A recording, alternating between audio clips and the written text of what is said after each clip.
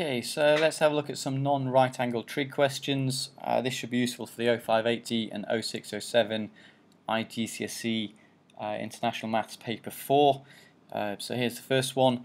Uh, we're given a diagram, position of ships and a coast guard station, um, and I want to find the distance AB. So that uh, before I crossed out the, the, things there, it was this length here. Um, now, first off, I need to decide if I'm going to use the cosine rule or sine rule. If you look at this, I've got side, side, side, and angle. Therefore, uh, nearly always I'm going to be using the cosine rule. So there we go, three sides and one angle, use the cosine rule. So this is the cosine rule, write it down, a squared equals b squared plus c squared minus 2bc cos a. Uh, the reason I've relabeled this rather than being c, I've relabeled it as a, is because I want this a the capital A here to be the angle that I've been given. So I've relabeled that as A, therefore this is little a, little b and little c doesn't really matter, but I need to make sure that the angle is labeled correctly. So now I've got this equation, I can basically just stick all my numbers in. So a squared, that's the side that I want, 83.1 squared, 95.2 squared, etc, etc. You can stick all that straight into your calculator you're going to get a squared equals 18990 point something something something. Uh, remember to square root it, and therefore a is 137.80 something something. And then if we round it to the nearest kilometre, we will get 138. Uh, because it says it, it, tells us the answer, so basically in order to make sure that we get full marks on this, we need to do show our full method uh, to get full full marks. Okay, so that's the first question. Okay, second question uh, kind of follows on from the first. So um, uh, this this length was 138. This is what we found out from the previous question. We were told that it rounds to 138, so I'm going to use 138 uh, for the, for the follow-through part of the question. Um, it says the bearing of the Coast Guard of C from A is 146. So I start at the point A and I go all the way around until I get to C and that that angle there is 146 okay so that's the first bit. Then it says calculate the bearing of B from A. So from A so again I start from the north arrow at A go all the way around until I hit B. So it's this blue angle here. Because that's what I want to find. So I look at that and go well I know that that whole angle there is 146 I know that the, the blue angle is what I want to find so if I knew what this x is here, this angle inside the triangle, if I knew what this angle was, then I could actually work out, so if I knew what, if I knew what this x was here, then I could do 146, take away this answer, and then what would be left would be the bearing that I wanted. Okay, so I, I therefore think, well, how do I find out what this little x is here? Well, it's either going to be cosine rule or sine rule. I've got an angle that I want and a side, an angle and a side, so two angles, two sides. Therefore, it's going to be the sine rule. So therefore, I've got sine 101 over 138 equals sine x over 83.1. I choose the sine rule with the angle on the top, just to make it a bit easier, um, a bit less rearranging to do. So I get this equation uh, if I then rearrange it, I'm going to times, well, stick all that into your calculator, sine 101 over 138, times the answer by 83.1, and then to get x on its own, inverse sine of all the answer, and you get 36.2. So therefore x is 36.2, therefore the bearing that you want, this blue angle here, is 146, take away 36.2, which is 109.8. Okay, next question. Um, this time we're given the area uh, of the triangle PQR, 48. Calculate angle QPR. So where is QPR? QPR is this angle here. So that's the angle we want to find. And show that it rounds, blah, blah, blah. Okay, again, because it's shown as the answer, we need to show our method clearly. Now, if the area of a triangle is 48, well, we're thinking what is the formula for the area of a triangle? Half AB sine C.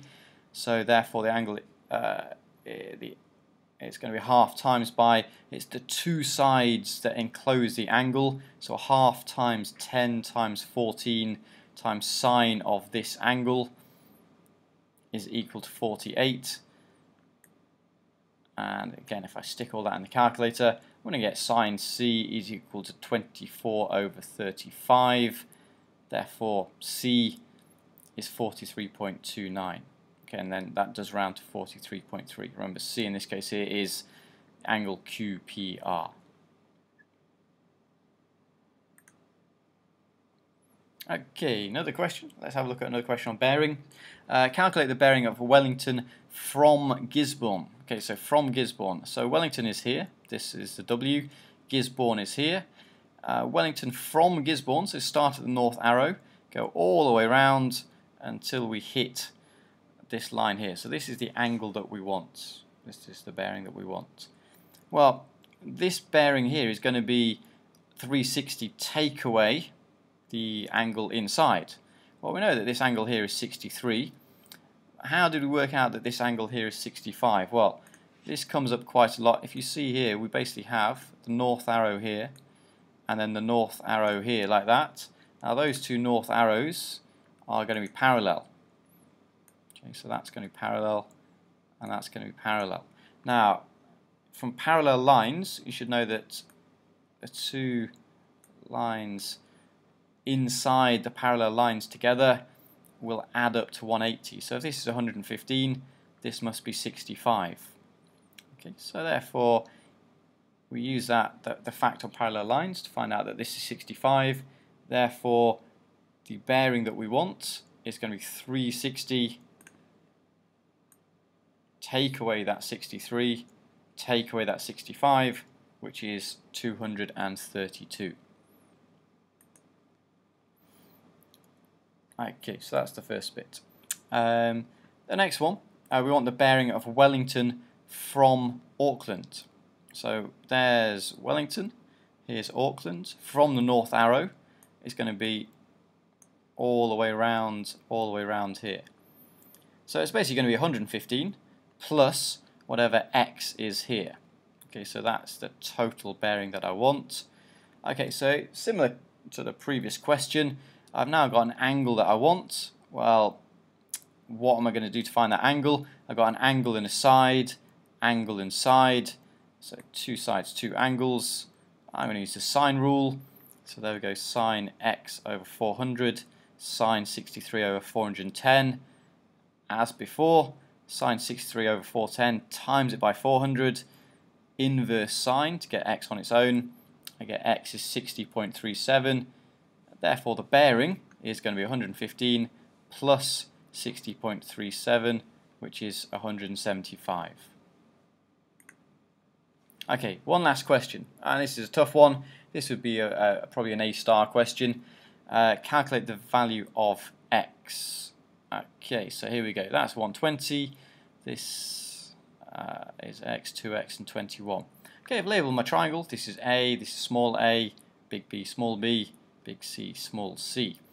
Um, and if you notice I've got side, side, side, and angle, so therefore it's going to be cosine rule. Okay, now this is the difficult thing. So let's stick all the values in. A is 21. Uh, B, in this case, is x. C is 2x. 2 times by the x and the 2x times by cos of the angle. So I just put all those values into my uh, cosine formula. Now here's the tricky bit. I've got 2x all squared. Now 2x all squared is not 2x squared it is 4x squared. So 2 squared is 4, x squared is x squared. Um, and I've got 2 times x times 2x, which is 4x squared. Cos 120, stick it on your calculator, you will get a negative, negative 0.5. It's okay, you can have a negative, um, but just remember it's negative 0.5. So we get 441 equals 4x squared plus x squared minus 4x squared times by minus 0.5. Okay, this is why it's an A star question. Uh, minus 0.5 times minus 4 is going to give us 2x squared. So therefore I've got 4x squared plus 2x squared plus another x squared.